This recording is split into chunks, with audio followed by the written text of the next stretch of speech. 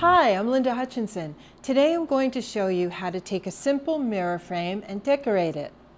Now this one I'm kind of decorating for a girl's room. You can do all kinds of options. I'm using Fun Foam.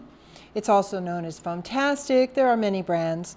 Basically it's any kind of craft foam that you can cut into shapes or you can buy it already cut into shapes. These were already these shapes but you can buy sheets and cut out any shape that you want. It comes in all kinds of colors and patterns.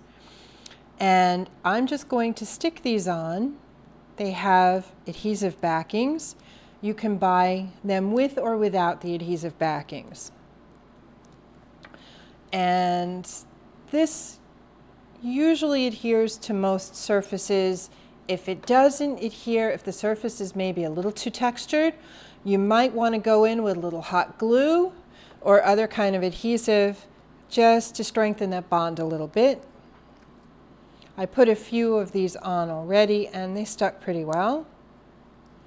So I'm just going to go ahead.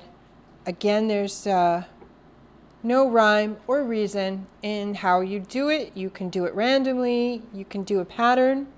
It's all personal preference. And you can use as many or as few as you want.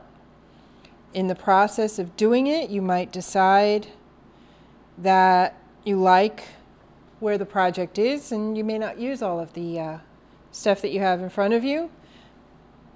Always go with your gut when you're making crafts and you can't go wrong.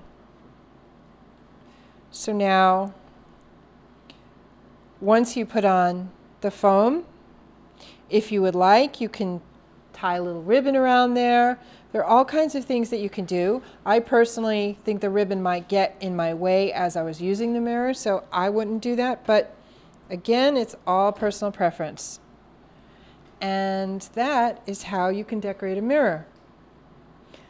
Thank you very much for joining me. My name is Linda Hutchinson. Have a great day. Bye-bye.